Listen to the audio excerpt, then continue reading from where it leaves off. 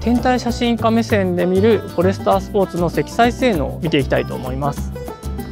天体写真を撮るのはですね本当にたくさんの荷物が必要なんです。なのでそれを一つ一つご紹介簡単にしていきたいと思います。これがまず赤道儀。1個目の赤道儀ですね。これでもかなり小さい方です。でこっちが2つ目の赤道儀ですね。これも小さい方ですね。でこれが、えー、カメラが3台ぐらい入ってるかな。それプラスレンズとかもちょっと入ってます。でこれがですね望遠鏡です。600mm の望遠鏡が入ってます。でこっちがカメラと赤道儀を動かすためのバッテリーポータブルバッテリーが入ってます。でこっちのカバンがですね、まあ、カメラバッグなのでこの下の方にはレンズがいっぱい入ってます。でこの大きいキャリーバッグ。これはですね防寒具だったり椅子テーブルそれから調理器具なんかですね。そういうものが入ってます。でそれからこれが三脚、まあ、こここに1個。あとここに2つ。ここにも1個。4本入ってます。でそれから水ですね。2リットルのペットボトル。それから寝袋とマット。車中泊用ですね。これだけの荷物を積まなきゃいけないじゃあ入れてみたいと思います。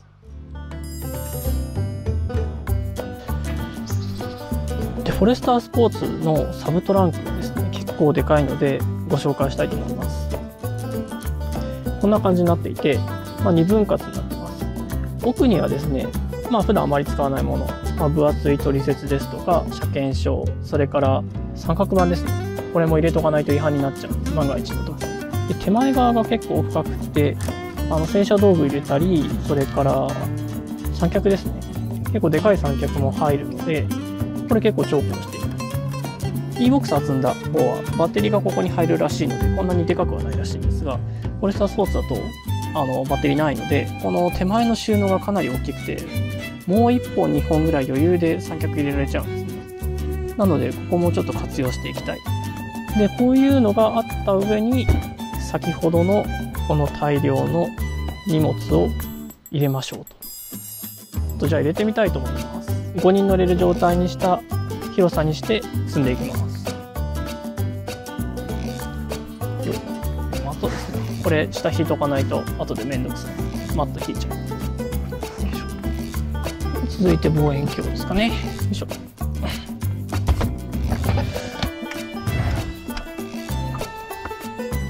カメラ。カメラそんな重くないのでこのマットの上に乗せちゃいましょうかね。はい。赤道儀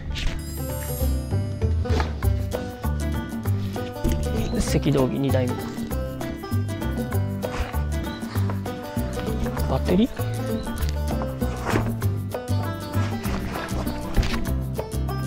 寝袋。でこのよいしょ。これはちょっとここ入れるとダメですね。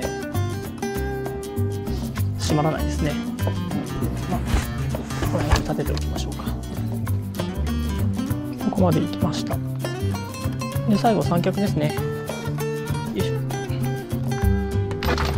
三脚ここにまあ置くこともできますがと2本3本積んでいくとちょっと落ちてきそうなので三脚はここにしまうのはやめておきましょう。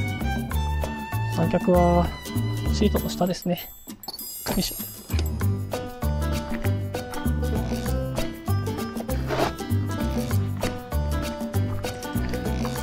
2列目の足元にしまっておきます。あと水、まあ、水はどっか空きスペースに適当に入れておけば良いかなと。